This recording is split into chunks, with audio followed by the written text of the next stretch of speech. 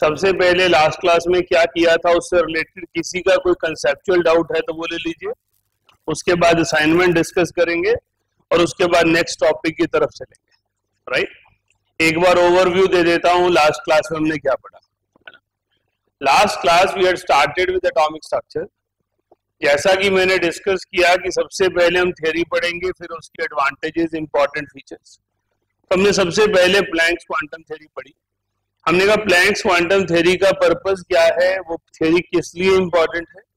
वो कहता है कि energy is radiated out discontinuously in the form of small energy packets ये खास ब्रेक थ्रू था in the Planck's time photo electric effect ने क्वेश्चन मार्क रेस किया था एग्जिस्टिंग इलेक्ट्रोमैग्नेटिक थ्योरी से कि लाइट वेव की फॉर्म में ट्रेवल नहीं करती, किसी दूसरी फॉर्म में ट्रेवल करती है। वो कौन सी फॉर्म में ट्रेवल करती है, उसे प्लैंक ने समझाया कि वो पार्टिकल फॉर्म और वेव फॉर्म का कॉम्बिनेशन है। और उन्होंने हमें फॉर्मूला दिया E equals to H C by और E equals to N H C by lambda हमने कुछ फॉर्मूलाज किए कि एन की वैल्यू फ्रैक्शन में नहीं हो सकती। फिर हमने एक दो न्यूमेरिकल किए। फिर हम फ़ोटो इलेक्ट्रिक इफ़ेक्ट पर पहुँचे। हमने कहा फ़ोटो इलेक्ट्रिक इफ़ेक्ट नाम से ही बताता है। फ़ोटो मतलब लाइट इलेक्ट्रिक मतलब करंट लाइट की मदद से करंट को डेवलप करना that is called photo electric effect तो फ़ोटो इलेक्ट्रिक इफ़ेक्ट वर्ड का मीनिंग है, जब एक लाइट मेटल सरफेस पे फॉल करेगी तो इलेक्ट्रिक करंट प्रोड्यूस होगा। हमने कहा हम डे टू डे लाइफ में न्यूमरस मेटल्स यूज़ कर रहे हैं, और हम जहाँ भी रहते हैं, वह लाइट होती है। तो इसका मतलब लाइट और मेटल इंटरेक्ट कर रहे हैं। और फ़ोटो इलेक्ट्रिक इफ़ेक्ट कह रहा है कि लाइट की मदद से मेटल के सरफेस पे करंट प्रोड्यूस करना है। इसका मतलब हर लाइट हर मेटल से करंट प्रोड्यूस नहीं करवा सकती। अदरवाइज़ हम कोई भी चीज़ मेटल फॉर्म में यूज़ नहीं कर सकते थे। चाहे वो कॉइन है करेंसी है पेन है एनी ऑब्जेक्ट तो हमने यहाँ पर एक इंपॉर्टेंट वर्ड पे फोकस करना चाहा that is suitable frequency suitable frequency mean striking photon की फ्रीक्वेंसी थ्रेशोल्ड फ्रीक्वेंसी से ज़्यादा होगी, तभी फ़ोटो एमिशन होगा। हमने कहा थ्रेशोल्ड फ्रीक्वेंसी कौन डिसाइड करेगा? मेटल डिसाइड करेगा। हर मेटल का अपना न्यूक्लियर पुल है, वो न्यूक्लियर पुल डिसाइड करेगा फोर्स ऑफ़ अट्रैक्शन कितनी है थ्रेशोल्ड एनर्जी कितनी चाहिए, उस थ्रेशोल्ड एनर्जी के बाद ही इलेक्ट्रॉन एमिट होना।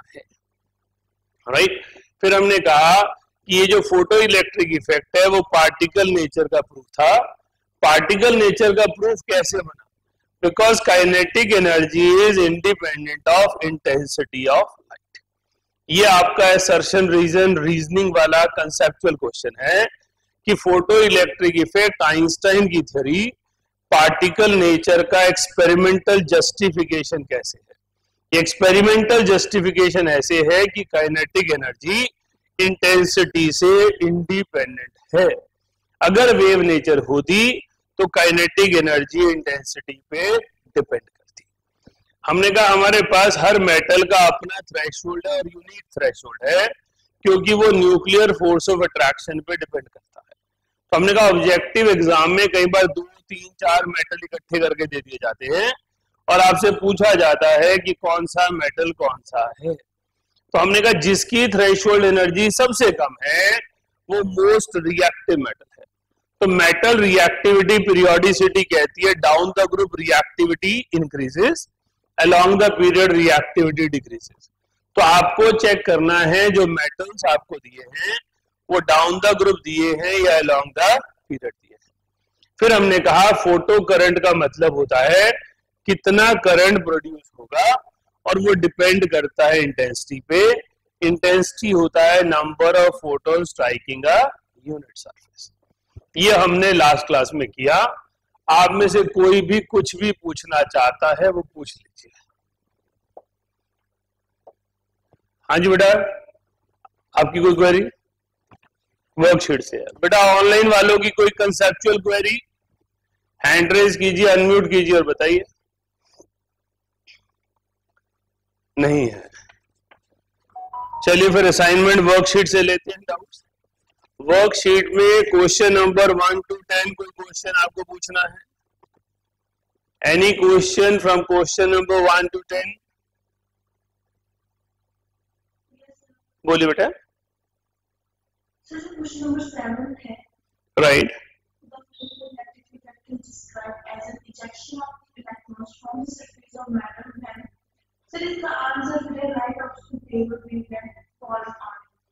राइट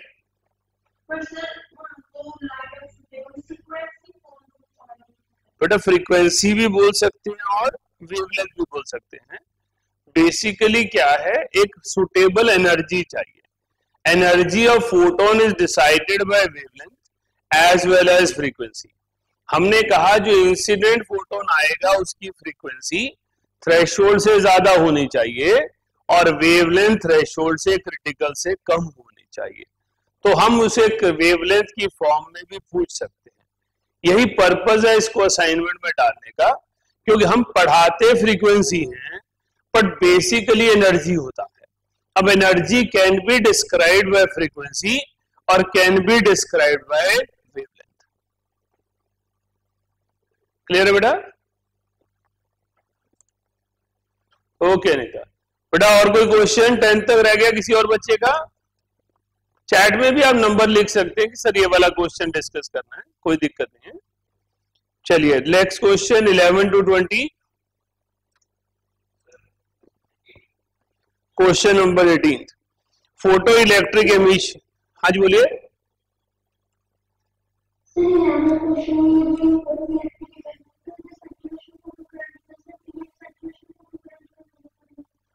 ओके बेटा।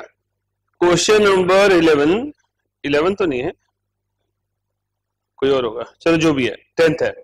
सैचुरेशन फ़ोटो करंट का मतलब होता है maximum current which can be produced by photon saturation means maximum तो कोई करंट जो मेटल सरफेस से प्रोड्यूस हो रहा है, वो मैक्सिमम कितना प्रोड्यूस हो सकता है, वो इंटेंसिटी पे डिपेंड करता है। जितने ज़्यादा फोटोन टकराएँगे, उतने ज़्यादा फ़ोटो इलेक्ट्रॉन एमिट होंगे। क्लियर है बेटा? ओके बेटा। आ जाओ एटीन पर या उससे पहले किसी कोई डाउट है? वर्क फ़ंक्शन वर्क कोई दिक्कत नहीं बेटा, अभी कर लेते हैं। एटीन का तो आंसर चेंज करना है बेटा सी करना है ना? है? हाँ हाँ एटीन का आंसर सी होना है। पीछे आंसर की में गलत लगा हुआ है, उसको ठीक कर लेना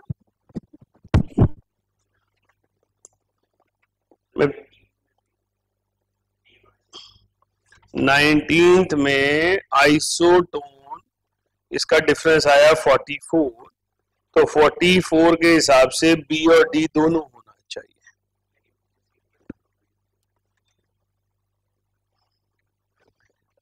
नाइनटींथ का आंसर बी और डी दोनों होने चाहिए। वो आंसर आप ठीक कर लीजिए ना? चलिए, पहले मैं वर्क फ़ंक्शन समझाता हूँ। डेफिनेशन लिख ही लीजिए सारे, फ़ोटो इलेक्ट्रिक इफ़ेक्ट के अंडर है लिखिए work function. It is defined as it is defined as the minimum amount of work the minimum amount of work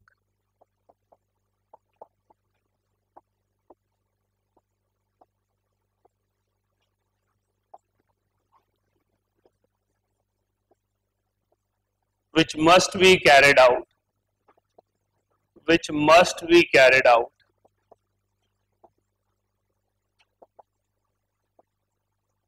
on metal surface on metal surface.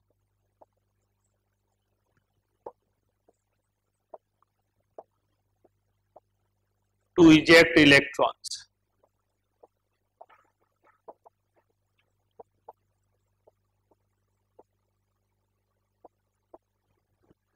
बेटा work function threshold energy का दूसरा नाम है work energy की ही एक form का नाम होता है।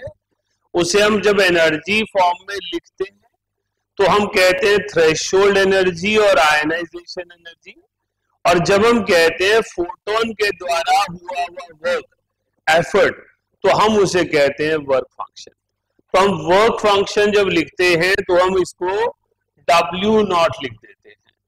तो W not is another term use for ionisation energy और थ्रेशोल्ड एनर्जी तो हमारे पास ionisation energy threshold energy work function तीनों एक ही चीज़ है। जब एनर्जी लिख रहे हैं, किस फॉर्म में जा रही है तो उसे थ्रेशोल्ड और आयनाइजेशन बोल रहे हैं। और जब हम कह रहे हैं work which is carried out उसे हम वर्क फ़ंक्शन कहते हैं। राइट तो साथ में ये ऐड कर लेते हैं। It is another term it is another way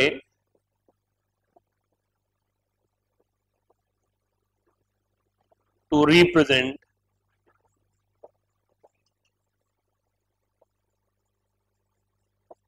threshold energy.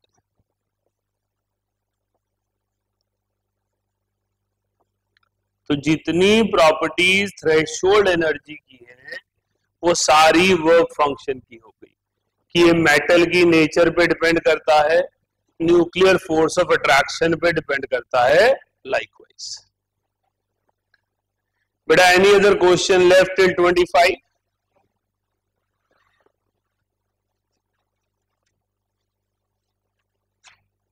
any other question left नहीं है.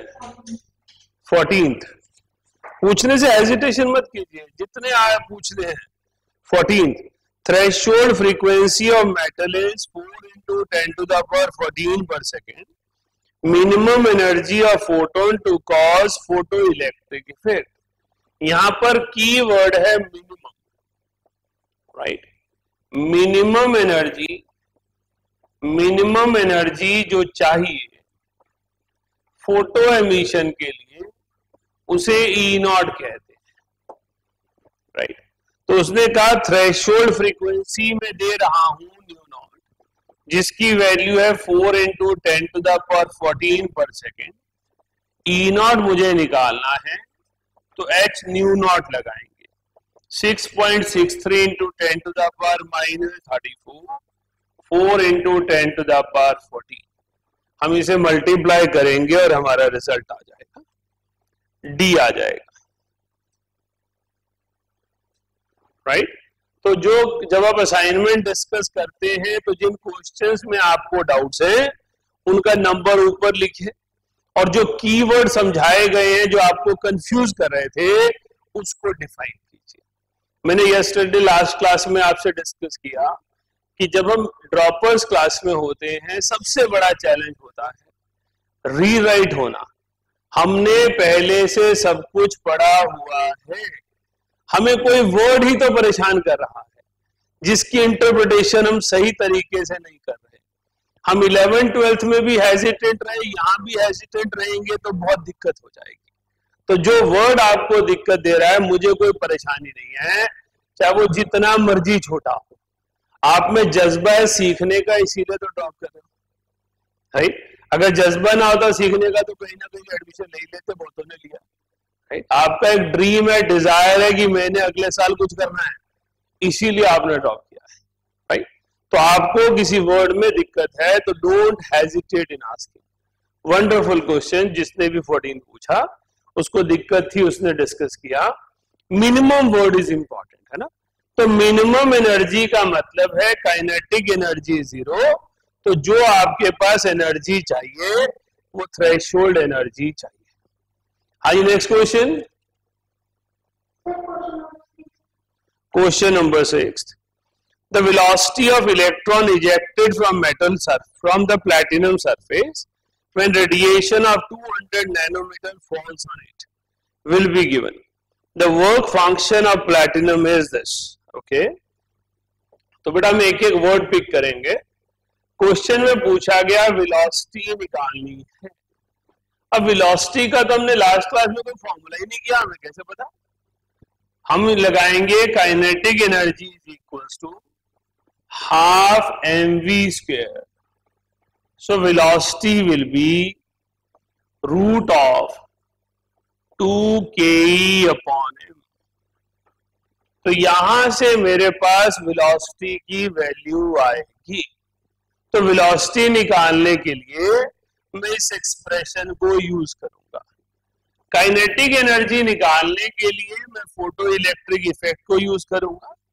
Kinetic energy is E minus E not तो ई e की वैल्यू आ गई बेटा मेरे पास H C by lambda two into ten to the power minus twenty five divided by two hundred nanometre तो two into ten to the power minus seven ये आ गया ten into ten to the power minus nineteen joules E not की value है W not that is work function that is five eV तो five into one point six into ten to the power minus nineteen बेटा ये value आ गई two into sorry sixteen five eighty eight into ten to the power minus nineteen joules so kinetic energy मेरे पास है ten into ten to the power minus nineteen minus eight into ten to the power minus nineteen always remember addition और subtraction में ten की power same होनी चाहिए।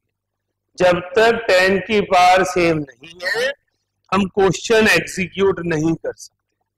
ये आ गया two into ten to the power minus nineteen अब हमने वेलोसिटी का फॉर्मूला लिखा हुआ है root two K upon m तो हमने के को हटा दिया। Two into ten to the power minus nineteen और हमने मास को हटा दिया। mass of electron 9 into 10 to power minus thirty one अब मेरे पास टू इंटू टू फोर का रूट आ गया टू नाइन का रूट आ गया थ्री अंडर रूट के अंदर आ गया ten into ten to the power minus nineteen ten to the power minus plus thirty one so that comes out to be two by three root of बात हो गया? 10 to the power 12. That means 0.67 into 10 to the power 6 meter per second. Right. तो question number six में velocity of photo electron पूछा था velocity का हमने कोई फॉर्मूला नहीं किया था वेलोसिटी हाफ़ के एम वी स्क्वेयर से निकालेंगे काइनेटिक एनर्जी से तो वेलोसिटी का फॉर्मूला हो गया root two K E m तो काइनेटिक एनर्जी हमने फ़ोटो इलेक्ट्रिक इफ़ेक्ट से निकाली E minus E nought E की value h c by lambda से निकाली डब्ल्यू नॉट फाइव ईवी को जूल्स में कन्वर्ट करके निकाला, फिर दोनों के डिफरेंस से के ई आ गया। के ई को मैंने वापस फॉर्मूले में डाल दिया। इलेक्ट्रॉन का मास 9.1 होता है, मैंने 9 लिया क्योंकि रूट लेना था। 9 का रूट में ले पाऊँगा 9.1 का नहीं ले पाऊँगा। इसलिए मैंने इसको सीधा सॉल्व कर दिया। हाँ जी बेटा, कुछ पूछना है इसमें? और कोई क्वेश्चन पूरी शीट से?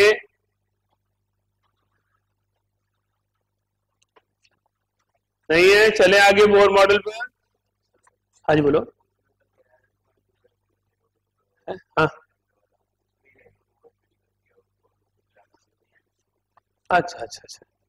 वो तो फॉर्मुलाज तो है ही सब चीज़ों के पर इतने फॉर्मूले याद नहीं रहते। राइट और यूनिट्स में ही गड़बड़ होती है। सिंपलेस्ट फॉर्म में होना चाहिए जिसमें आसानी से कन्वर्ट कर पाए। हाँ जी, चले आगे। ऑनलाइन वाले थोड़ा सा पार्टिसिपेटिव रहे।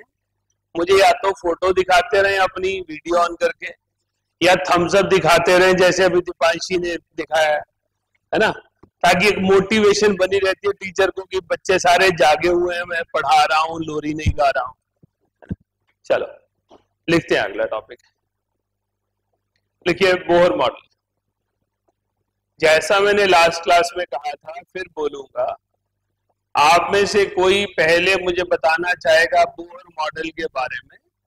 क्या क्या फीचर उसके ध्यान में है कि बोहर मॉडल में ऐसा ऐसा होता है? सबसे पहले ऑनलाइन साइट पे जाऊँगा। आप में से कोई बता बताना बोले दिपांशी।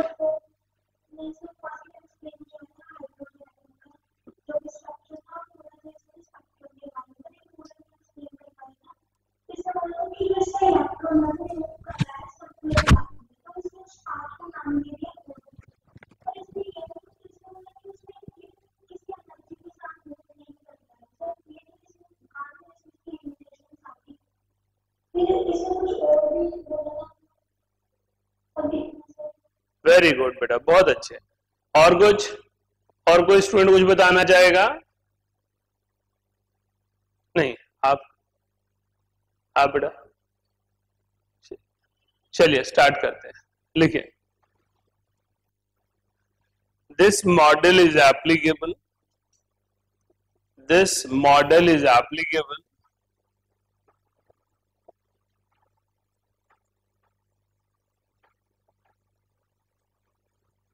only to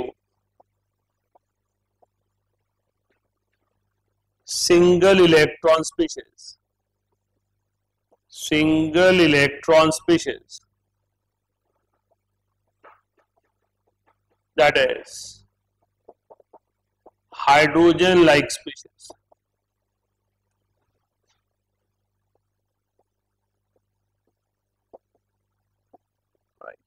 ये मॉडल सिर्फ़ हाइड्रोजन लाइक स्पीशीज पर ही अप्लाई होता है। किसी और एटम पर अप्लाई नहीं होता।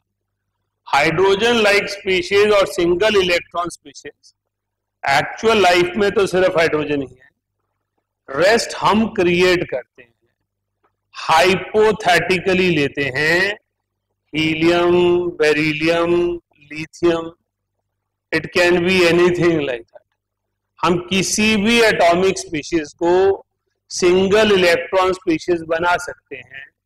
एक इलेक्ट्रॉन छोड़ दें और बाकी सब इलेक्ट्रॉन निकाल दें। तो अगर कोई क्वेश्चन हीलियम वन पॉजिटिव पर आता है लिथियम टू पॉजिटिव पर आता है बेरिलियम थ्री पॉजिटिव पर आता है तो वो सारे क्वेश्चन बोहर मॉडल पर हैं। Right single electron species nature में सिर्फ़ हाइड्रोजन है। रेस्ट हाइपोथेटिकली डेवलप करते हैं। अब हमें क्योंकि एंट्रेंस पॉइंट ऑफ़ व्यू से रिवाइज करना है तो ये सिंगल इलेक्ट्रॉन पर ही क्यों लगता है? Bohr is was very intelligent आपका modern periodic table Bohr periodic table कहलाता है, और मॉडर्न पीरियोडिक टेबल श्रोडिंगर के आउटकम के बाद बनाया गया है। तो ये नहीं कहा जा सकता कि बोहर बेवकूफ़ थे ये नहीं कहा जा सकता कि उसे पूरा ज्ञान नहीं हाँ ये कहा जा सकता है कि जब उसने मॉडल दिया तो जो साइंस की डेवलपमेंट थी, उसी लेवल तक हुई थी। तो उसने कोई एजम्पन ली जिसकी वजह से हम हाइड्रोजन के बियॉन्ड नहीं जा पाए। वो एजम्पन क्या थी, वो मैं यहाँ लिखवाऊँगा, आपने डिफरेंट कलर से लिखना है, या ब्रैकेट्स में लिखना है। लिखे because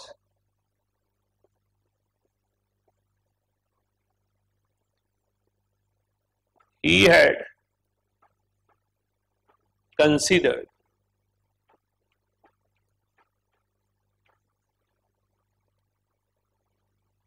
only attractive foods only attractive foods. Between nucleus and one electron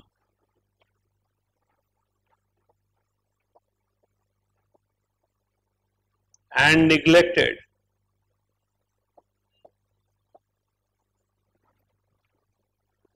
Inter-electronic repulsions.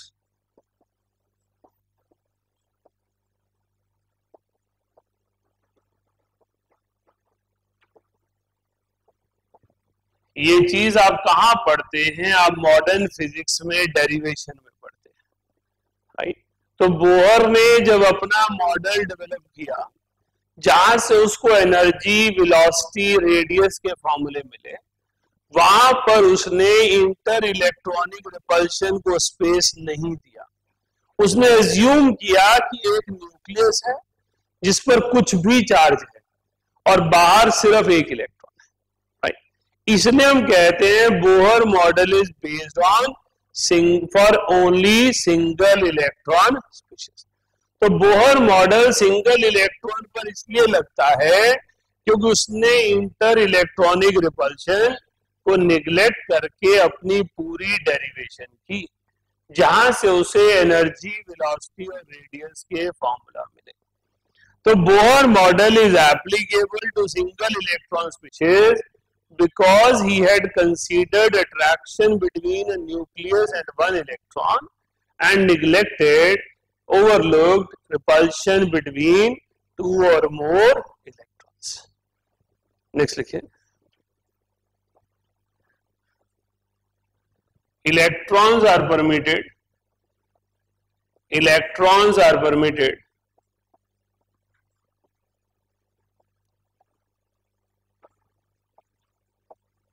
Only in those shells.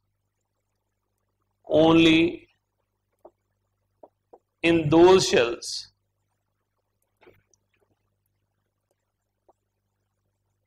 Where? Energy and angular momentum. Where energy and angular momentum.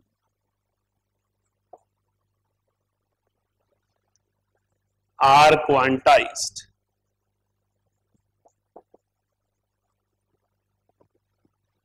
Bohr ने कहा कि इलेक्ट्रॉन सब जगह present नहीं हो सकता। Electron सिर्फ़ वहाँ होगा जहाँ पर उसकी एनर्जी और एंगुलर मोमेंटम क्वांटाइज्ड होंगे। ये चीज़ कहाँ से आई निकलकर और क्यों इंपॉर्टेंट है? बोहर की सबसे बड़ी सक्सेस और सबसे बड़ी लिमिटेशन दोनों ही क्वांटाइजेशन बोहर मॉडल को जो रदर फोर्ड से डिस्टिंग्विश करता है, जिसने उसे पॉपुलर किया, वो कंसेप्ट ऑफ़ क्वांटाइजेशन श्रोडिंगर के आने के बाद जो लिमिटेशन बना, वो क्वांटाइजेशन है। राइट रदरफोर्ड ने कहा था कि एटम का साइज़ न्यूक्लियस से 10 टू द पावर 5 टाइम्स बड़ा है। Volume 10 to the power 15 times ज़्यादा है। ह्यूज अगर आप रदरफोर्ड का एटम देखें तो आपके पास एक बास्केटबॉल के सेंटर में एक डस्ट पार्टिकल रख दीजिए। ऐसे न्यूक्लियस है और एटम है। तो इतना सारा खाली स्पेस पड़ा। है तो रदरफोर्ड ने कहा इलेक्ट्रॉन कहीं भी घूम रहा होगा उसने न्यूटन के लॉ लगा दिए ग्रेविटेशन के ग्रेविटी लगती नहीं। तो आपके पास बोर ने कहा कि अगर मैं रदरफोर्ड का मॉडल लगाऊँगा तो एटम जो है वो ten raise to power eight seconds में कोलैप्स हो जाएगा। तो उसने कंसेप्ट दिया क्वांटाइजेशन का। उसने कहा, इलेक्ट्रॉन हर कहीं प्रेजेंट नहीं होगा, सिर्फ़ वहाँ प्रेजेंट होगा, जहाँ एंगुलर मोमेंटम और एनर्जी क्वांटाइज्ड होंगे। Quantization means definite discrete value obtained by certain right आपके पास एक सर्टेन होल नंबर सॉल्यूशन आना चाहिए। अगर होल नंबर सॉल्यूशन नहीं आ रहा है तो इलेक्ट्रॉन वहाँ पर परमिटेड नहीं है। राइट लिखिएगा आगे। Quantize shells quantize shells have whole number values whole number values that is n is equals to 1 2 3 4 likewise but n cannot be 2 by 3 1 by 2 something like this तो n की fractional values permitted नहीं n की value जो है, वो सिर्फ़ whole number होनी चाहिए। दैट इज़ क्वांटाइजेशंस तो क्वांटाइज शेल्स में बोर्ड से पूछा गया एनर्जी की वैल्यू क्या होगी? उसने कहा minus thirteen point six into Z square by n square in eV पर एटम यूनिट बदलते जाएँगे, ये वैल्यू बदल जाएगी। कभी ये जूल्स में आ जाएगी, कभी ये किलो जूल्स में आ जाएगी। जब इसको जूल्स में करेंगे तो minus two point one eight into ten to the power minus eighteen into Z square by n square हो जाएगी। इसको हम जूल्स पर एटम कर देते हैं। सिर्फ़ मल्टीप्लाई करना है 1.6 point six into ten to the power minus nineteen से। या one three one two into Z square upon n square कर देते हैं। और उसे किलो जूल।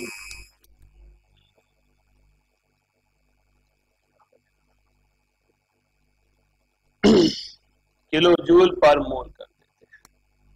तो मेरे पास Z जो है, वो एटॉमिक नंबर है। Z जो है, वो एटॉमिक नंबर है। और N जो है, वो शेल नंबर है। और दोनों होल नंबर होते हैं। कोई भी चीज़ फ्रैक्शनल और एंगुलर मोमेंटम की वैल्यू एंगुलर मोमेंटम की value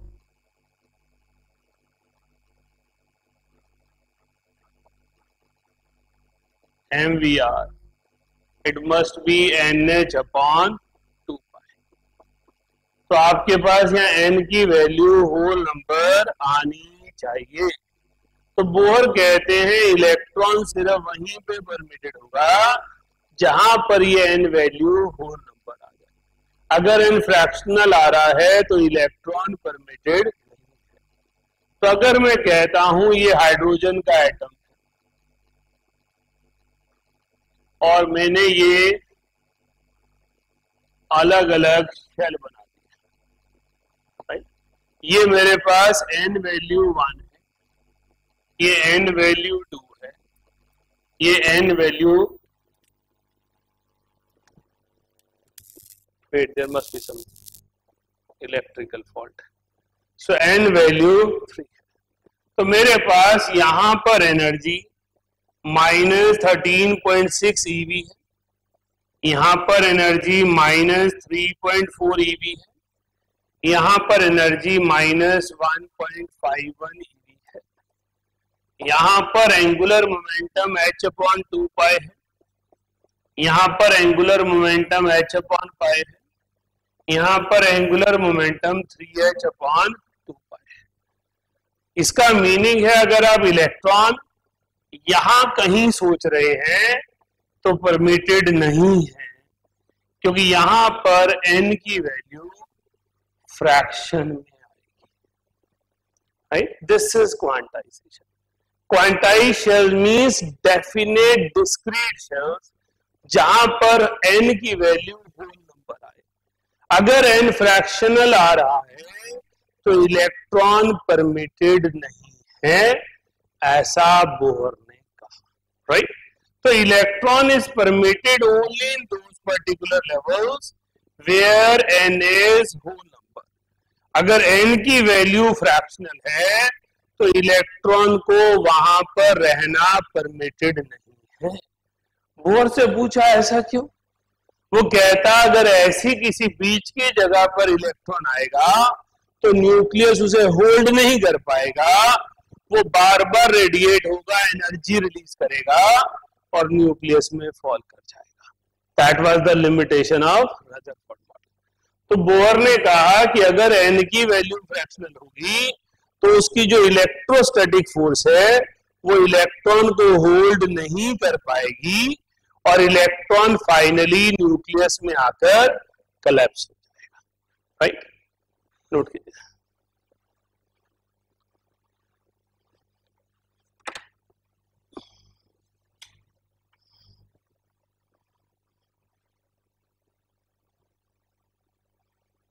हाँ जी ऑनलाइन वालों को दिख रहा है सब? क्लियर है? डबल स्क्रीन ओके बेटा।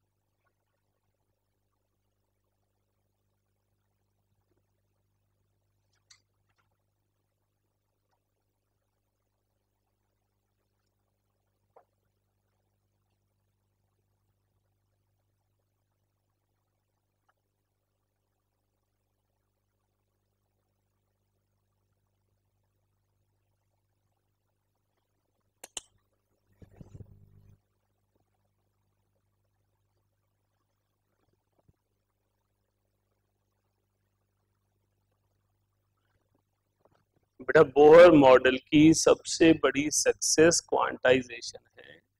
और जिस बच्चे ने बोहर मॉडल पढ़ा और उसे क्वांटाइजेशन नहीं पता तो फिर फ़ायदा नहीं है ना? क्वांटाइजेशन का मतलब है जहाँ पर शेल नंबर फ्रैक्शन में आ रहा हो। इसीलिए कुछ साल पहले तक एम्स का जब पेपर अलग होता था तो generally ask which of the following values of energies are not permitted उसमें बच्चा सोचता था, मेरे को कौन सी याद है यार सारी वैल्यूज़ उसमें कुछ नहीं करना होता था एन निकालना होता था। जिसमें एन होल नंबर आ रहा है, वो परमिटेड है। जिसमें एन फ्रैक्शनल आ रहा है परमिटेड नहीं है। क्योंकि एन की वैल्यू फ्रैक्शन में आना नॉन क्वांटाइज शेल्स है। नॉन क्वांटाइज शेल्स में इलेक्ट्रॉन को रहना परमिटेड नहीं है। Right right?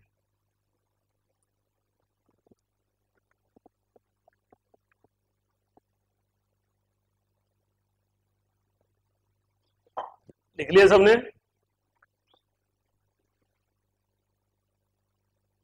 यस ओके लिखे आ गया हो गया तेरा अच्छा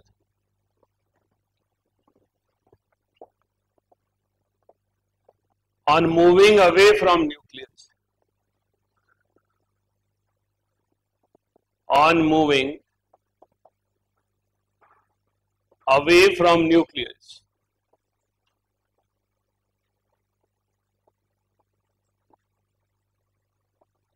energy of electron. Energy of electron increases. And energy difference. Energy difference decreases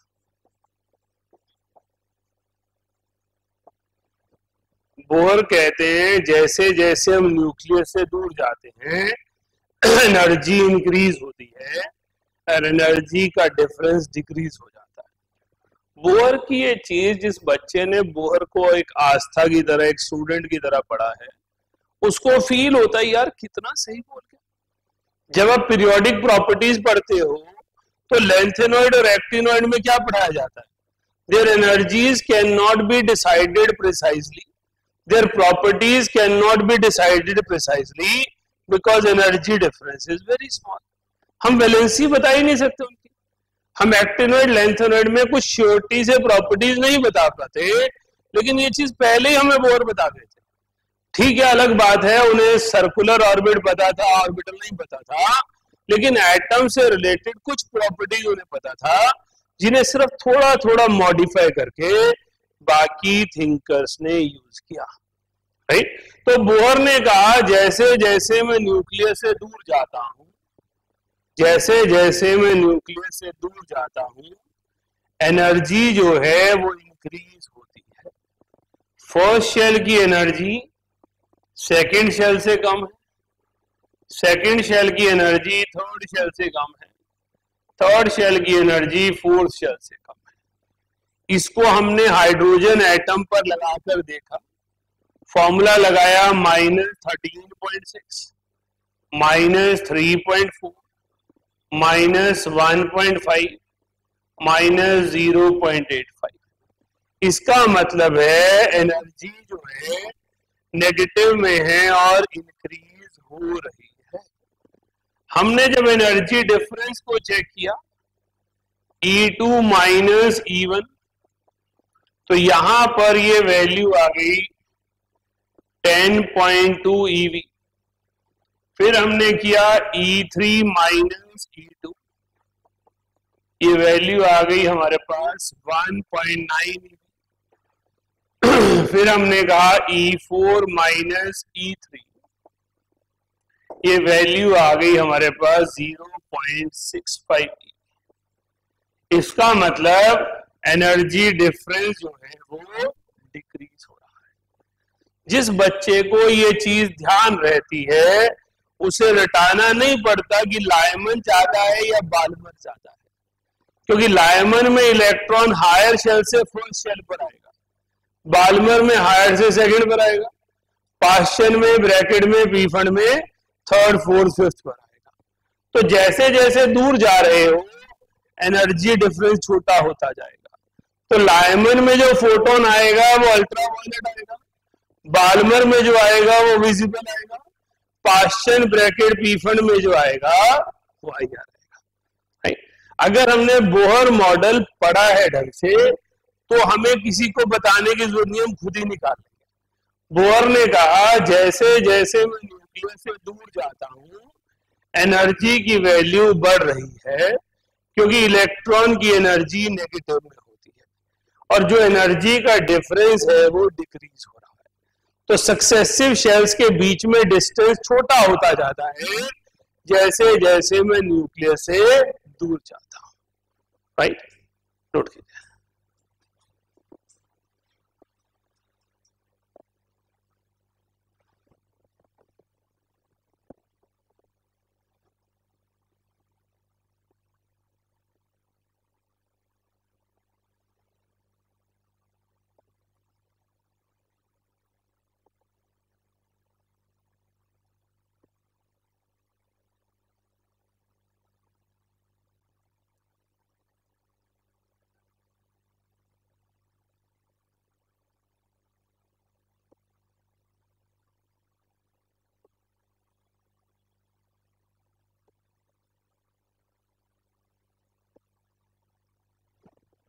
हाँ जी, मानव बोली बेटे।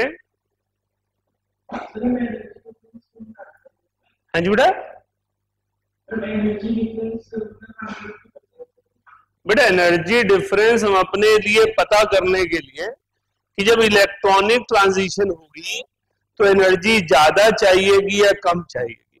अभी मैं अगले पॉइंट पर आऊँगा, उसमें यही बात करेंगे कि इलेक्ट्रॉन एनर्जी एब्जॉर्ब कब करेगा और एनर्जी रिलीज़ कब करेगा?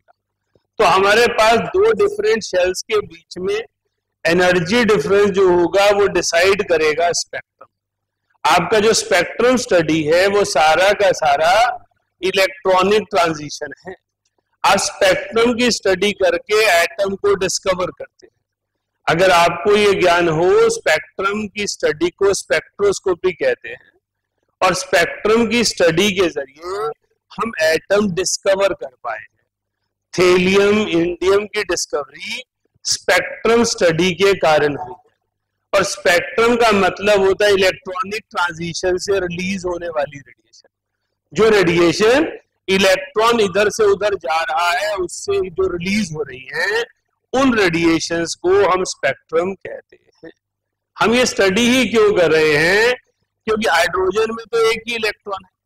एक ही इलेक्ट्रॉन है तो उसे तो चुपचाप पहले शेल में पड़े रहना चाहिए। तो जब हम हाइड्रोजन को इल्यूमिनेट करेंगे ई रेडिएट करेंगे तो एक सिंगल फोटोन एमिट होना चाहिए, क्योंकि सिंगल शेल है।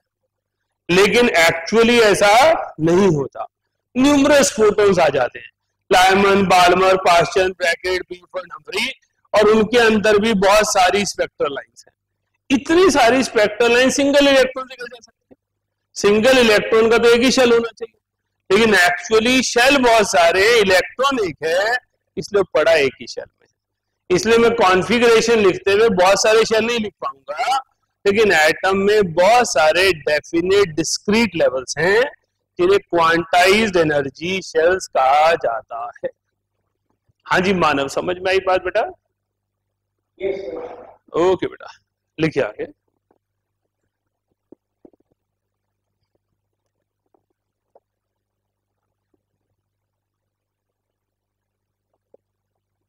Electron jumps.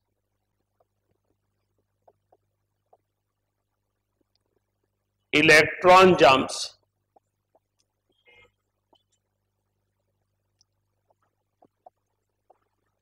From lower shell to higher shell. From lower shell to higher shell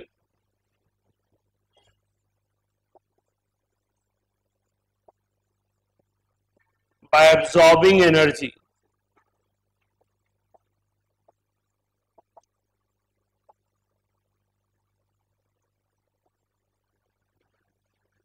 And these energy levels, and these energy levels are known as excited states.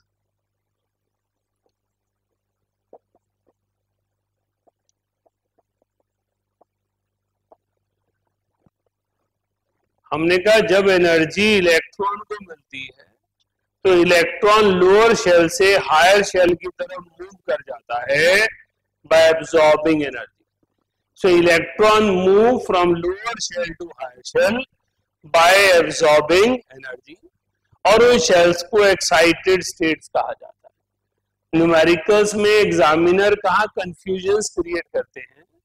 वो बोलते हैं energy in second excited state तो carelessly बच्चा n को two ले लेता है। Excited state लिखा है तो वन प्लस करना है। Second excited state n is three third excited state n is four first excited state n is two तो एन की वैल्यू आपने वो नहीं लेनी है जो नंबर एक्साइटेड स्टेट के आगे लिखा है। क्योंकि एक्साइटेड स्टेट वर्ड का मतलब है वो ऊपर गया है। उसकी एनर्जी ज़्यादा है। देखिए। This transition this transition forms absorption spectrum. Absorption spectrum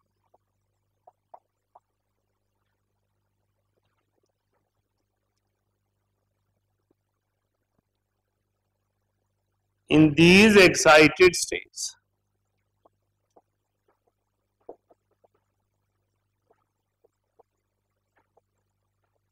Electron is less unstable. Electron is unstable and it jumps back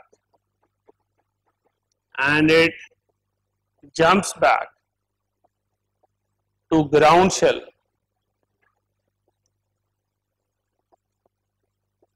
To ground shell.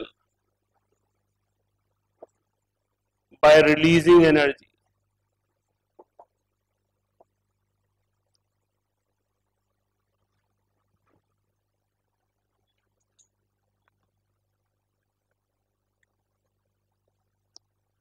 Radiations released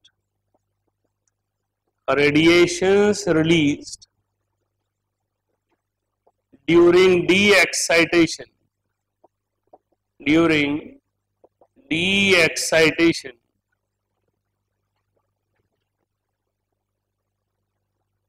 Forms. Emission spectrum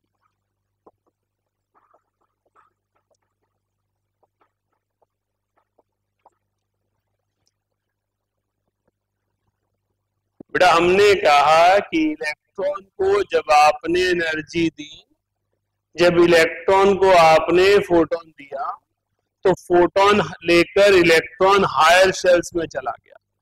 क्योंकि वो अपनी शेल में तभी तक घूम सकता है, जब तक उसके पास उतनी एनर्जी है जितनी शेल के लिए चाहिए। जैसे उसे एनर्जी मिलेगी, उसे शेल छोड़ना पड़ेगा। और वो शेल छोड़कर हायर शेल की तरफ़ चला मीनिंग क्या है कि जब हम डे टू डे लाइफ में कहते हैं मेटल सरफेस गर्म हो गया इसका मतलब वहाँ इलेक्ट्रॉनिक ट्रांजिशन हुई और इलेक्ट्रॉन अपनी शेल छोड़ छोड़कर बाहर भाग गया। अब ये आप सब जानते हैं, आपने फिजिक्स में छोटी क्लास में पढ़ा हुआ है every hot object release radiation true अब गर्म ऑब्जेक्ट ने एनर्जी रिलीज़ करनी है। तो इलेक्ट्रॉन जो हायर शेल पे पड़ा था, वो एनर्जेटिक था। Higher energy mean lower stability वो जम बैक करेगा लोअर शेल पर आएगा और एनर्जी बाहर फेंक देगा। तो जो उसने एनर्जी ली वो एब्जॉर्प्शन स्पेक्ट्रम बन गई। जो एनर्जी रिलीज़ की वो एमिशन स्पेक्ट्रम बन गई। तो बोहर ने ये सारी चीज़ इतने सुंदर तरीके से समझाई कि हमें कुछ और समझने की ज़रूरत ही नहीं रही बोहर ने कहा, हर शेल की अपनी एनर्जी है और इलेक्ट्रॉन की अपनी कोई एनर्जी नहीं होती, उस डिस्टेंस की एनर्जी होती है। तो उसकी वही एनर्जी होती है जो शेल में। अगर वो अपनी शेल में रहेगा तो उसी एनर्जी के साथ घूमेगा, जो एनर्जी अवेलेबल है। तो जैसे ही फोटोन मिलेगा, वो एनर्जेटिक हो गया। अब वो एनर्जेटिक हो गया तो वहाँ नहीं रह पाएगा, वो भाग जाएगा।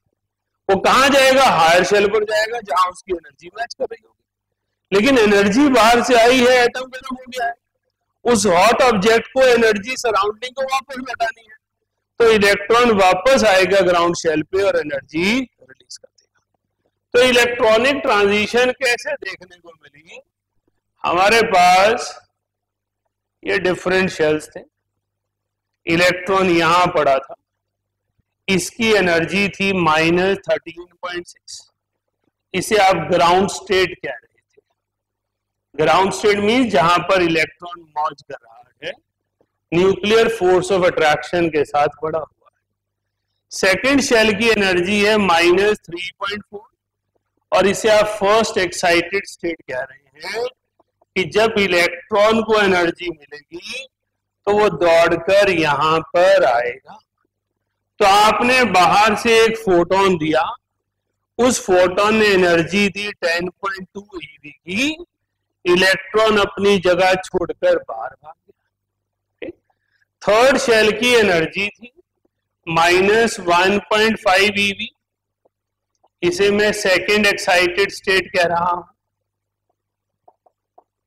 इस सेकेंड एक्साइटेड स्टेट में इलेक्ट्रॉन को जाने के लिए 12.1 किलो जूल चाहिए।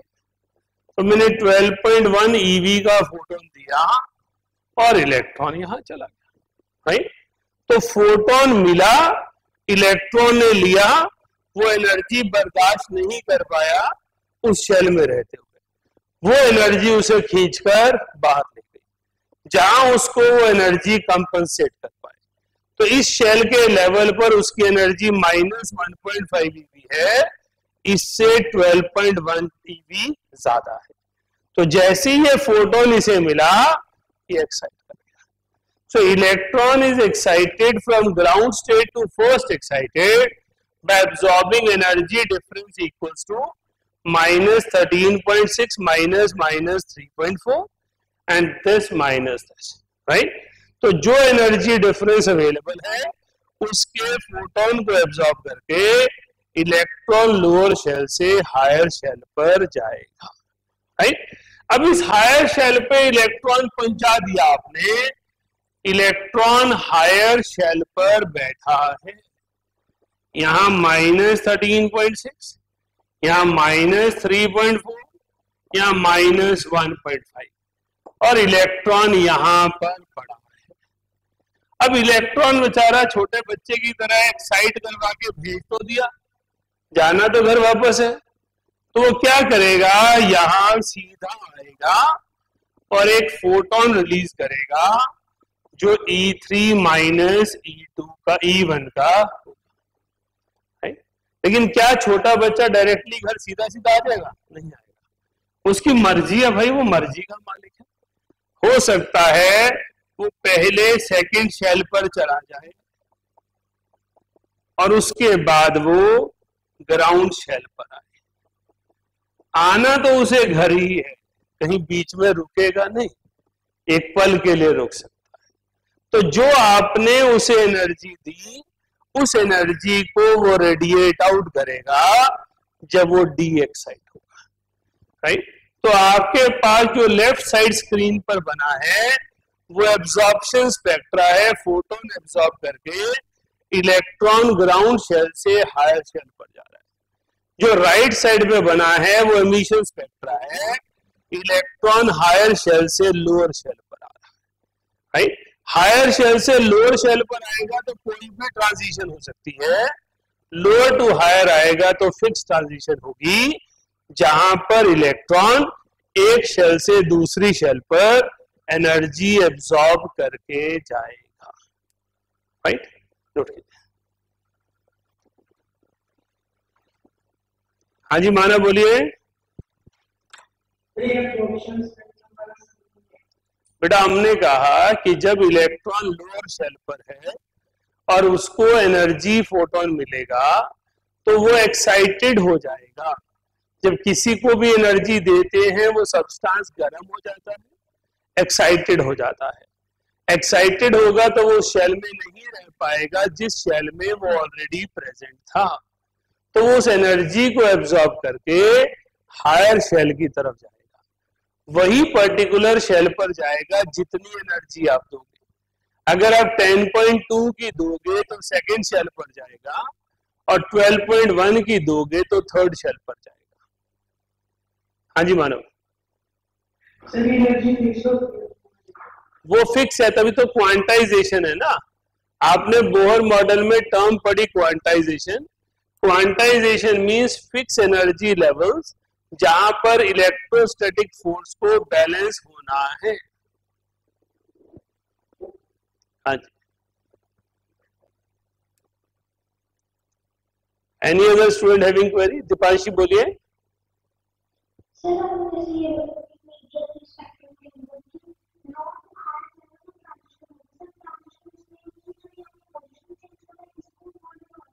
नहीं नहीं सब्ट्रैक्शन में एनर्जी डिफरेंस को बोल रहा हूँ। कि मैंने एनर्जी डिफरेंस किस बेस पे लगाया?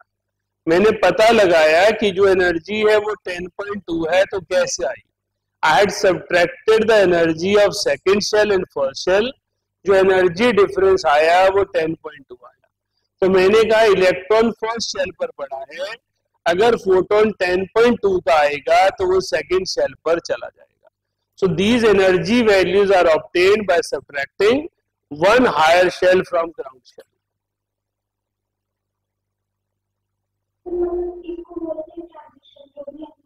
बिल्कुल बिल्कुल। हाँ जी। इसी को इलेक्ट्रॉनिक ट्रांजिशन बोलते हैं। लोअर शेल से हायर शेल पर जाना या हायर शेल से लोअर शेल पर आना। हाँ जी, हो गया? नोट कर लिया? स्पेक्ट्रम आता ही ट्रांजिशन की वजह से बेटे स्पेक्ट्रम तो अरेंजमेंट ऑफ़ रेडिएशन है, जो एक सोर्स से मिल रही है है ना? अगर आपने कभी थोड़ा नोटिस किया हो, नहीं किया हो तो आज नोटिस करना। घर में अगर प्लास्टिक का या कांच का ट्रांसपेरेंट स्केल है, किसी भी लाइट की तरफ़ रखना और उसे थोड़ा टिल्ट करना यू विल सी थ्री और four colours generally we get three colours red blue and yellow जो हम घर में व्हाइट लाइट यूज़ करते हैं। अब वो जो रेडिएशन मुझे दिखाई दी, उसके अरेंजमेंट को स्पेक्ट्रम कहते हैं।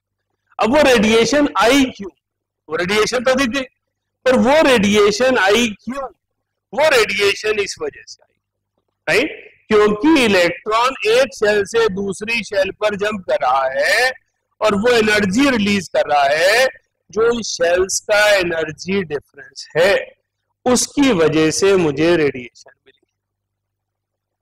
right சரி Next.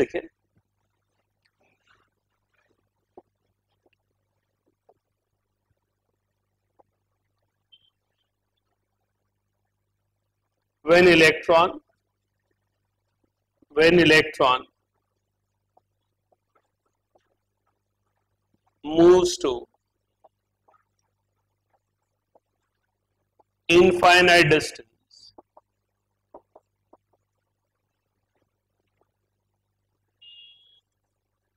it means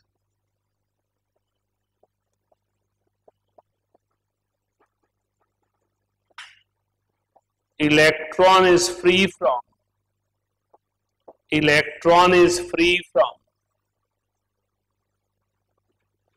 nuclear force of attraction nuclear force of attraction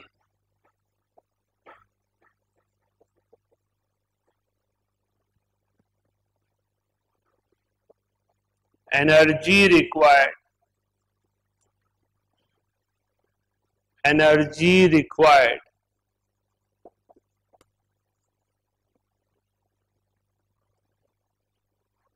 To take electron. To take electron. From its shell to free state is known as ionization energy.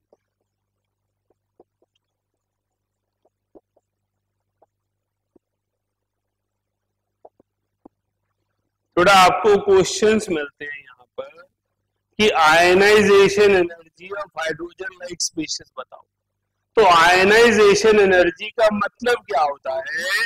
Electron को atom से निकालकर बाहर ले जाना। हमने कहा when electron moves to infinite distance it means electron is free from nuclear force of attraction तो अगर कोई आपसे पूछता है इलेक्ट्रॉन की एनर्जी फ्री स्टेट में क्या है?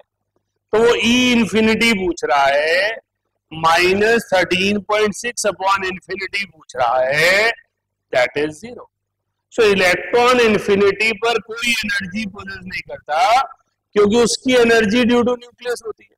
जब न्यूक्लियस ही नहीं होगा तो एनर्जी ही नहीं होगी।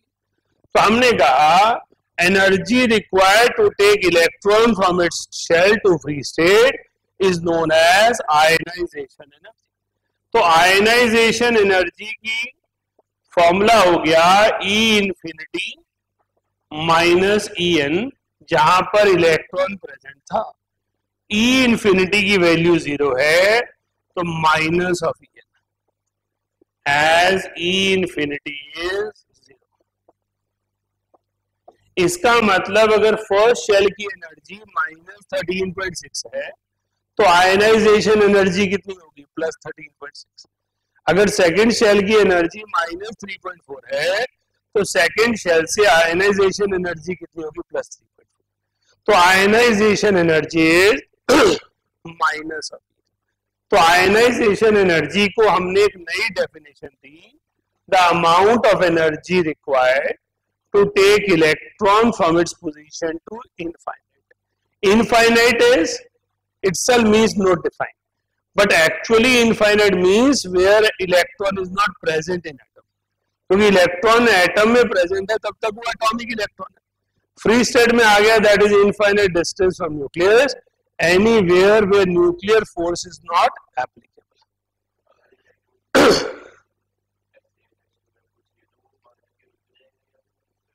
देखो बाहर जाके रुक तो सकता नहीं है, कहीं तो जाएगा देखो इलेक्ट्रॉन कहीं भी फ्री स्टेट में एग्जिस्ट नहीं करता, ये सिर्फ़ डेफिनेशन होती है ना?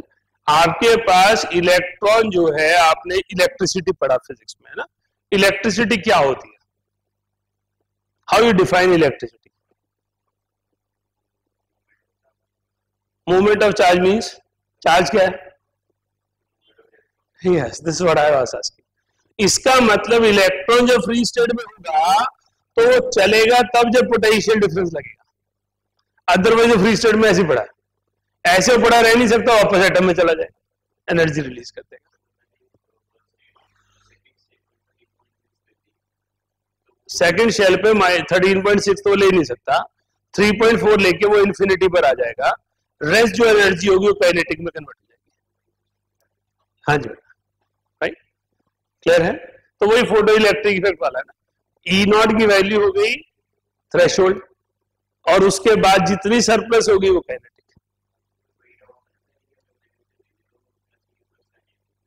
हाँ कैनेटिक नहीं तो रुकेगा ही ना। तो हमारे पास थियोरेटिकल कंसेप्ट है। प्रैक्टिकली ऐसा होगा नहीं हो सकता। क्योंकि इलेक्ट्रॉन एक इतना छोटा ऑब्जेक्ट है कि वो फ्री स्टेट में कभी रह ही नहीं सकता। वो फ्री स्टेट में होता ही नहीं। फ्री स्टेट सिर्फ़ पढ़ते हैं थ्योरेटिकली फ्री स्टेट में आने के बाद कोई ना कोई उसे ले जाता है। जब बॉन्डिंग पढ़ते हैं तो ये इलेक्ट्रॉन नॉन मेटल ले जाता है नाइन बना देता है। जब फिजिक्स पढ़ते हैं तो ये इलेक्ट्रॉन पोटेंशियल डिफरेंस ले जाता है, उसे दौड़ा के करंट बना देता है। इलेक्ट्रॉन फ्री स्टेट में एज इट इज़ पढ़ा नहीं जा सकता। अगर फ्री स्टेट में आएगा तो वापस अपनी शेल में जाकर एनर्जी रिलीज़ कर देगा। राइट हाँ जी, लिख लिया फॉर्मूले नोट करो।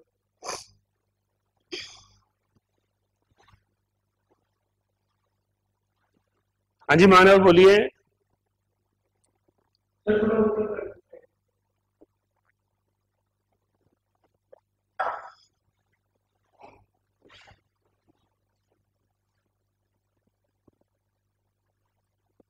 काफ़ी है इतना?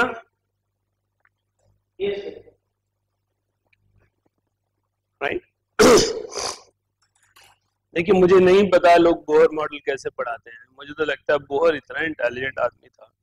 ठीक है लिमिटेशन तो हर एक की होती है। क्या आपकी मेरी नहीं? राइट अगर बोहर मॉडल को सिलेबस में रखा गया है तो पहले हम उसकी एडवांटेजेस देखें। फिर सोचे अच्छा इसको इतना नहीं पता था। राइट अब आप जिस पर्टिकुलर एज ग्रुप में हैं, उस वक्त जो भी साइंटिफिक गैजेट्स अवेलेबल हैं, जो आप घर में यूज़ कर रहे हैं, वो आप सबको पता है। उसके आप मास्टर हो सकते हैं। बट क्या आप सारी साइंस के मास्टर हो सकते हैं? नहीं हो सकते ना। हम ये कहेंगे जो अवेलेबल नॉलेज थी, वो आपने बेस्ट सीखी। लेकिन जब आप ग्रो करोगे, और लोग आएँगे, और थिंकर से मिलोगे तो नई नॉलेज फिर सीखोगे। राइट तो Bohr was a very good craftsman who had acquired so much knowledge and he was having a very good temperament for a mathematical approach उसने उन दोनों चीज़ों को ब्लेंड करके एटम की एक रूप रूपरेखा रखी। उसने कहा एटम में electron nuclear force of attraction के कारण है। वो जिस भी शेल में मूव करेगा, वो उस न्यूक्लियर फोर्स के कारण मूव करेगा। जिस शेल में जहाँ तक रहेगा, वहाँ पर इलेक्ट्रोस्टैटिक फोर्स बैलेंस होनी चाहिए। वो सिर्फ़ वही होगा जहाँ इलेक्ट्रोस्टैटिक फोर्स बैलेंस होगी अदरवाइज़ वो अपनी मौज करेगा, निकल जाएगा।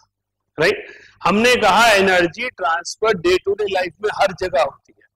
थर्मोडाइनमिक्स कहता है energy is not constant it regularly move from hotter object to colder object तो एनर्जी तो भाग ही रही है। तो जब एनर्जी एक जगह से दूसरी जगह टकराएगी तो दूसरी जगह क्या इफ़ेक्ट छोड़ेगी? और जहाँ से एनर्जी आई, वो कैसे आई? उसको बोर ने समझाया कि सब कुछ आइटम है। तो जहाँ से एनर्जी रिलीज़ हुई, वो इलेक्ट्रॉन ऊपर से नीचे आ रहा था। और जहाँ एनर्जी गई, वहाँ पर इलेक्ट्रॉन नीचे से ऊपर जा रहा था। क्योंकि इलेक्ट्रॉनिक ट्रांजिशन ही एनर्जी के एक्सचेंज का रीजन है। जब तक आप उतनी एनर्जी नहीं दोगे कि इलेक्ट्रॉन न्यूक्लियर फोर्स से बाहर चला जाए, तब तक वो ऊपर नीचे जाता रहेगा एब्जॉर्प्शन इमिशन करता रहेगा। जब आप उसे उतनी एनर्जी दोगे कि वो फ्री स्टेट में चला जाए तो उसे आयनाइजेशन एनर्जी कहोगे। यहाँ पर वो कभी भी रह नहीं सकता। वो या तो भागेगा करंट की फ्लो फॉर्म में, या वो किसी को डोनेट हो जाएगा एनायन की फॉर्म में लेकिन इलेक्ट्रॉन अगर फ्री स्टेट में चला गया तो वो वहाँ पर रहने की बजाय किसी के पास जाना प्रेफर करेगा या अपने ही एटम में वापस आना प्रेफर करेगा? अपने एटम में वापस आएगा तो उससे एनर्जी रिलीज़ होगी, जिसे हमने डी एक्साइटेशन से एमिशन स्पेक्ट्रम का नाम दिया। क्लियर हो गया? लिखिए आगे। As energy of electron as energy of electron at infinity is zero. At infinity is zero. And it releases energy.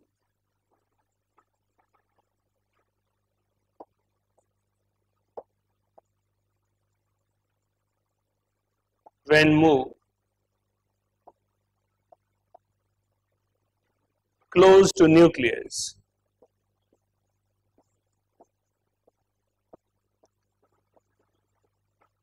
So electronic energy is negative.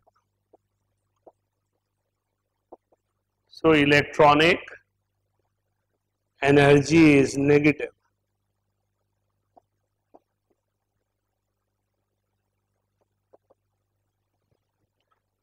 Right आप सभी जानते हैं kinetic energy is always a positive function इसका मतलब जो electron की energy होती है वो सिंपल काइनेटिक एनर्जी नहीं हो सकती। लेकिन इलेक्ट्रॉन मूव भी करता है तो इसका ना काइनेटिक एनर्जी भी है। और वो एक डेफिनेट डिस्टेंस फ्रॉम न्यूक्लियस पर है इसका मतलब पोटेंशियल एनर्जी भी है। तो जो भी इलेक्ट्रॉन की एनर्जी आप लिखते हैं minus three point six minus three point four minus one point five वो सारी एनर्जी, काइनेटिक और पोटेंशियल का सम टोटल है। खाली काइनेटिक नहीं है, खाली पोटेंशियल नहीं है। बट ओवरऑल नेगेटिव है। और काइनेटिक एनर्जी हमेशा पॉजिटिव होती है। इसका मतलब मैग्नीट्यूड किसका ज़्यादा होगा, पोटेंशियल का या काइनेटिक का? है जी? दैट्स ट्रू राइट तो पोटेंशियल एनर्जी आपने इलेक्ट्रोस्टैट में पढ़ी। अपोजिट चार्जेस के बीच में पोटेंशियल एनर्जी नेगेटिव होती है, पॉजिटिव होती है? नेगेटिव होती है। लाइक like चार्जेस में पॉजिटिव होती है और अपोजिट चार्जेस में नेगेटिव होती है। और इलेक्ट्रॉन और न्यूक्लियस के अपोजिट चार्जेस और like charges opposite charges this is what I am saying right इसका मतलब इलेक्ट्रॉन जिस शेल में प्रेजेंट है, उस शेल में उसकी पोटेंशियल एनर्जी हायर नेगेटिव है काइनेटिक एनर्जी पॉजिटिव है, इसलिए ओवरऑल सम टोटल नेगेटिव है। समझ गया आपको? देखो, अगर हमने सब्जेक्ट को सीखना है तो इंटर डिसिप्लिनरी पढ़ना है तो हमें ज़्यादा अच्छे से समझ में आएगा। हम समझ पाएँगे कि बोहर क्या कह रहा है। अगर जो हम रट के जा रहे हैं अच्छा ये ये पॉइंट है क्वांटाइजेशन रट लो एनर्जी रट लो। हम फील करें बोहर क्या कह रहे हैं। तो हमें याद रखना आसान हो जाएगा। तो बोहर इज़ सेइंग कि जब electron nuclear force of attraction से बाहर चला गया इन्फिनिटी पे, उसकी एनर्जी ज़ीरो हो गई। जैसे जैसे वो अंदर आ रहा है एनर्जी रिलीज़ कर रहा है एनर्जी रिलीज़ करेगा तो एनर्जी ज़्यादा तो होने से रही कमी होगी। और anything less than zero mean negative इसलिए इलेक्ट्रॉन की एनर्जी नेगेटिव होती है। अब इलेक्ट्रॉन जिन शेल में प्रेजेंट है, वहाँ वो रुका हुआ नहीं है, घूम रहा है। जो चीज़ घूमेगी, उसकी काइनेटिक एनर्जी होगी। और जो चीज़ एक डेफिनेट डिस्टेंस फ्रॉम न्यूक्लियस होगी, उसकी पोटेंशियल एनर्जी होगी। Kinetic energy always positive potential is always negative between opposite charges overall energy is negative it means in every shell potential energy of electron is more than its kinetic energy समझ गए लिखिए आगे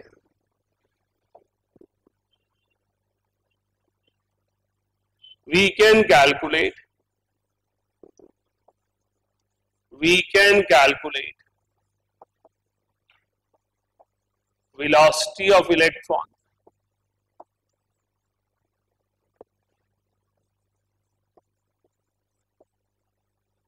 in any orbit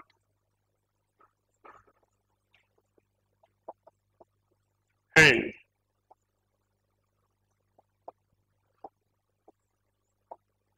radius of orbits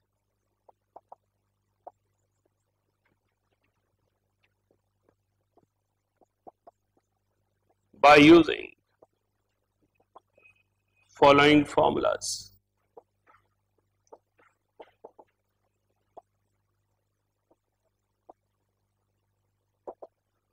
तो Bohr ने सिर्फ़ energy और angular momentum की बात नहीं की।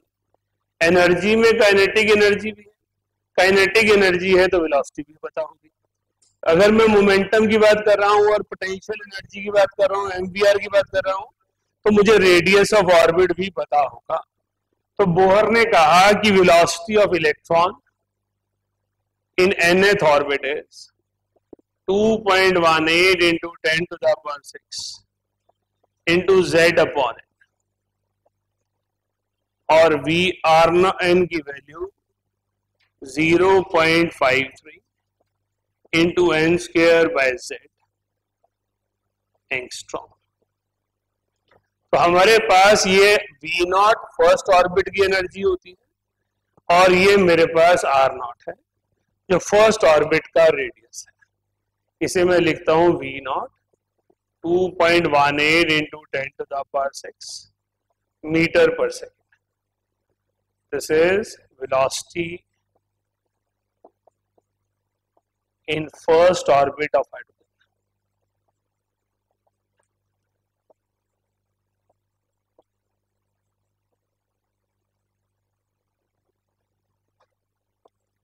Note कर लीजिए sir and R naught 0.53 angstrom radius of first orbit.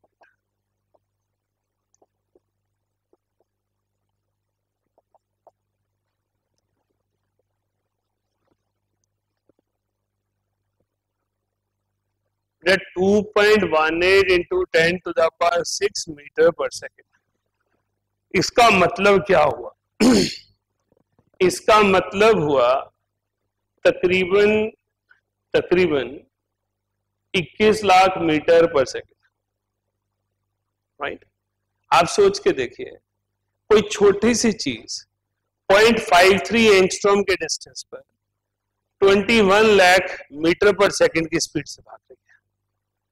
तो बहुत तेज भाग रही है, बहुत स्लो भाग रही है। बहुत तेज भाग रही है। अगर आपको एक छोटे से डिस्टेंस पे गोल गोल घूमने को कहा जाए और बहुत तेज घूमने को कहा जाए, आपके पैर सीधे चलेंगे लड़खड़ाएँगे? लड़खड़ाएँगे ना? राइट और जब आप बहुत तेज चलेंगे तो सामने वाले के लिए आपकी पोजीशन पता लगाना पॉसिबल होगा या नहीं होगा? नहीं होगा। यही चीज़ डीप रॉगली और शोडिंगर ने बोर हिंट दे गए थे उन्हें। राइट बोर खुद ऐसा सोच नहीं पाए। राइट बोर ने कहा इलेक्ट्रॉन जिस ऑर्बिट में घूम रहा है, उसका distance point five three angstrom है और जिस स्पीड से घूम रहा है, वो two point one eight into ten to the power six metre per second है which is very very fast एक छोटा सा ऑब्जेक्ट ऐसे ऐसे ऐसे ऐसे राइट तो कैसे देखूँगा उसे? पॉसिबल ही नहीं है। यही बोअर की लिमिटेशन थी और डी ब्रॉगली और हिजनबर्ग की लॉटरी थी राइट उन लोगों ने इसके बारे में सोचना शुरू किया जिसे हिजन बोहर ने नजरअंदाज किया। तो उन्होंने कहा कि जो चीज़ छोटे से स्पेस में चलेगी और इतनी तेज स्पीड से चलेगी, उसको आप डेफिनेट पोजीशन नहीं दे सकते। हो ही नहीं सकता, हमें दिख जाए। राइट मैं लास्ट क्लास में भी मिट्रीवाइड की बात की थी। लास्ट क्लास में बात की थी, जब कोई चीज़ बहुत तेज आ रही होती है तो सिर्फ़ रे की तरह दिखती है। We can not see it properly हम सिर्फ़ उसकी लोकेशन पता लगा सकते हैं कि यहाँ कहीं पर होगी। लेकिन हम ये नहीं कह सकते कि वो एग्जैक्टली कहाँ पर होगी राइट तो बोर मॉडल में बोर ने जब वेलोसिटी और रेडियस की कैलकुलेशन की डेरिवेशन की मदद से तो वहाँ कुछ ऐसी वैल्यूज़ निकल कर आई, जो एक नॉर्मल स्टूडेंट तो सिर्फ़ रटता है। लेकिन थॉटफुल स्टूडेंट सोचता है अच्छा इतनी छोटी सी प्यादी सी चीज़ इतनी तेज भाग रही है, कुछ तो गड़बड़ है। राइट समझ गया? अब इस फॉर्मूलाज में बच्चे गड़बड़ करते हैं जेड और एन जेड ऊपर है या एन ऊपर है right velocity is directly proportional to Z and inversely proportional to N velocity क्या होती है? स्पीड प्रियांशु कभी पीटीआई ने तो दौड़ाया ग्राउंड में? पीटीआई डांटता है तो जाते ही दौड़ता है या कम डांटता है तो जाते ही दौड़ता है? नहीं, वैसे ही भी कभी कोई दौड़ाने का मौका लगा। पीटीआई स्ट्रिक्ट हो तो तू ज़्यादा तेज दौड़ेगा या लीनियंट हो तो ज़्यादा तेज दौड़ेगा? स्ट्रिक्ट हो। स्ट्रिक्ट का मतलब जेड ज़्यादा राइट तो इलेक्ट्रॉन कब ज़्यादा तेज भागेगा जब उसका न्यूक्लियर बना भाग भाग भाग भाग। जितना न्यूक्लियस बड़ा होगा। जब तेरा ग्राउंड का चक्कर बड़ा होगा सर्कम बड़ी होगी तो ज़्यादा तेज भागेगा, छोटी होगी, ज़्यादा तेज भागेगा। छोटी होगी, जल्दी कवर करने का दिल करेगा, बड़ी होगी, थक जाएगी। राइट सो एन जितना बड़ा होगा वेलोसिटी कम हो जाएगी।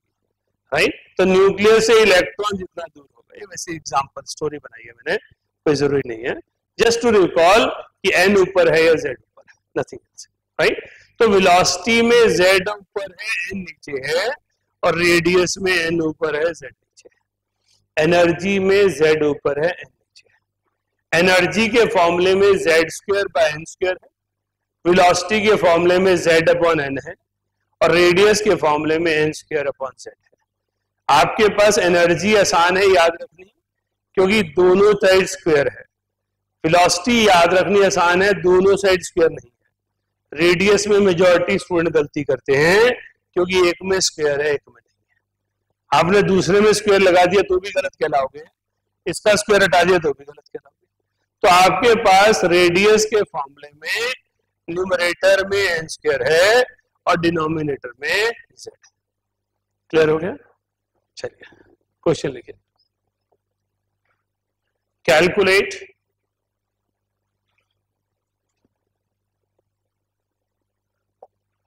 calculate amount of energy required. Calculate amount of energy required.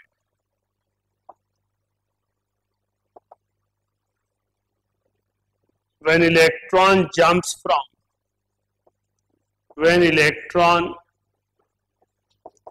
jumps from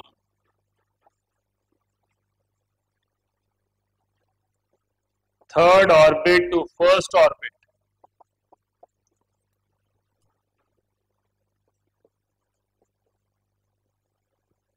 in hydrogen करिए कैलकुलेट करके दीजिए पीछे से कॉपी मार के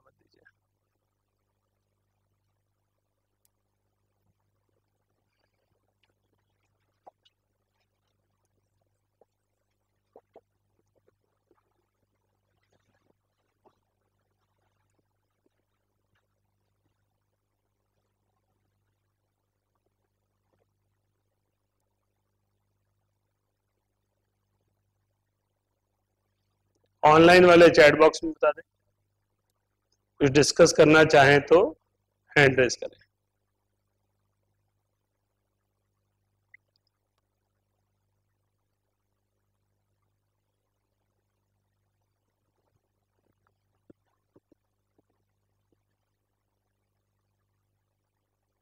कितनी आ गई? Eight by nine into thirteen point six हाँ जी निशा क्या पूछ रहे बेटे? बताओ कैसे सोचा?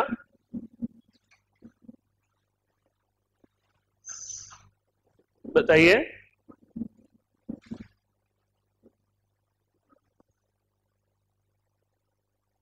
बताइए निशा।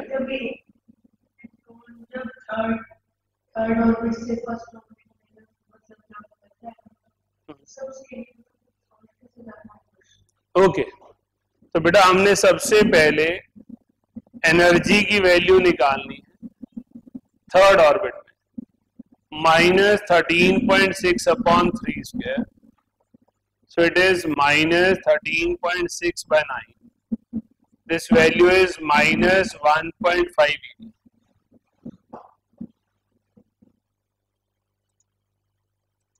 right तो ये मेरे पास वैल्यू आ गई minus one point five eV फिर मैंने फ़र्स्ट ऑर्बिट लिया minus thirteen point six upon one square that is minus thirteen point six अब मुझे एनर्जी डिफरेंस निकालना है energy difference between third and first orbit so it is minus one point five minus thirteen point six that is equals to 12.1 EV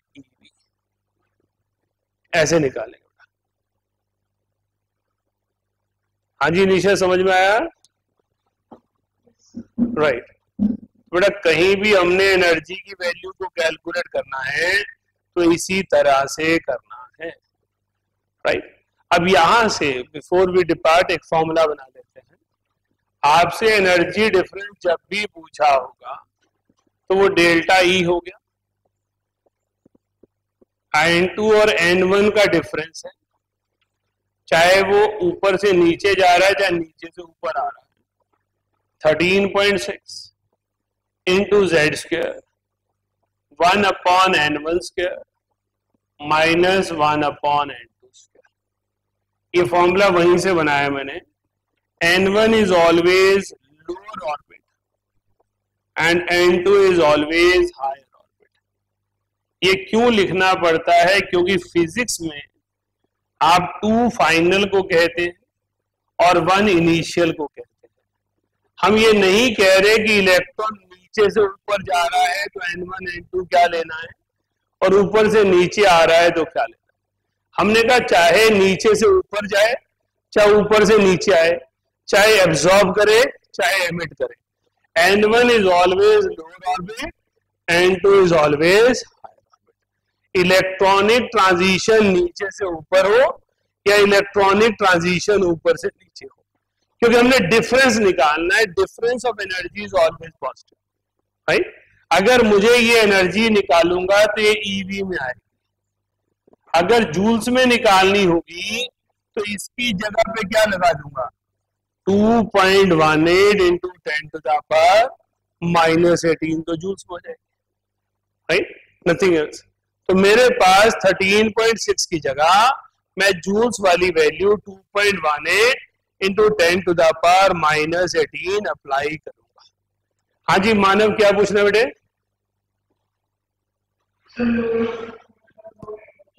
lower orbit का lower energy orbit first second lower हो गई third fourth fifth higher हो गई। तो electron चाहे ऊपर से नीचे आ रहा है, चाहे नीचे से ऊपर जा रहा है आपने सिर्फ़ एनर्जी का डिफरेंस निकालना है। अगर वो नीचे से ऊपर जाएगा तो आप बोलोगे इतनी एनर्जी एब्जॉर्ब हुई। अगर वो ऊपर से नीचे आएगा तो बोलोगे इतनी एनर्जी रिलीज़ हुई। जितनी एनर्जी वो एब्जॉर्ब करेगा नीचे से ऊपर जाने पे उतनी ही रिलीज़ करेगा अगर सेम ट्रांजिशन है। Because total energy is conserve हाँ जी मानव? सो